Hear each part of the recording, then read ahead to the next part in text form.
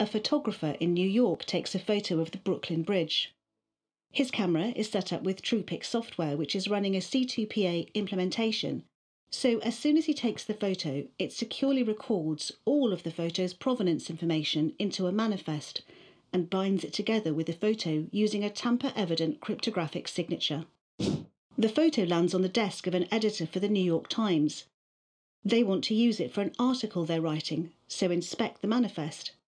Happy with the authenticity of the photo, they open it in Photoshop to prepare it for publish.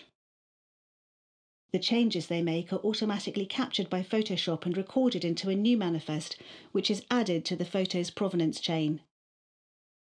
It is now ready for publishing. Someone downloads the published photo from the New York Times and decides to edit it further before posting on social media. The provenance information is always present, locked to the photo, ready to be inspected on any platform anywhere.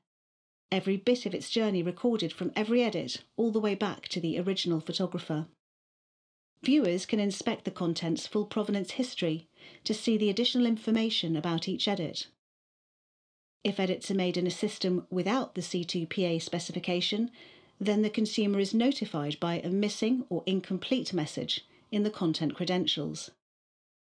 C2PA also uses a failsafe for recovery in case of the malicious or accidental stripping of provenance information. It can always be recovered and matched again to the photo.